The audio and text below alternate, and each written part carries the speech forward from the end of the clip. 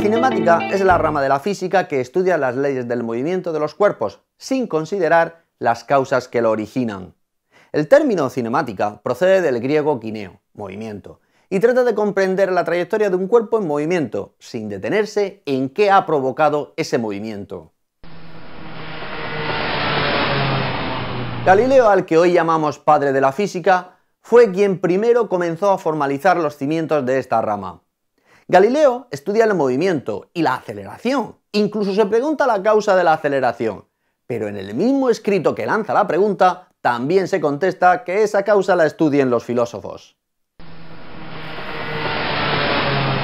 Galileo escribe, por el presente es propósito nuestro simplemente investigar y demostrar, siempre que sea posible, alguna de las propiedades del movimiento acelerado, cualquiera que sea la causa de ese movimiento.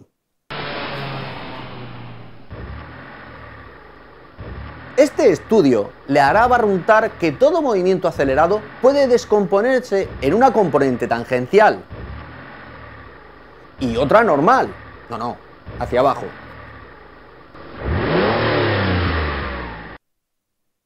Precisamente esta visión le sirvió para establecer las ecuaciones del movimiento de los proyectiles y deducir la trayectoria que es una parábola, siendo el alcance máximo para un ángulo de tiro de 45 grados.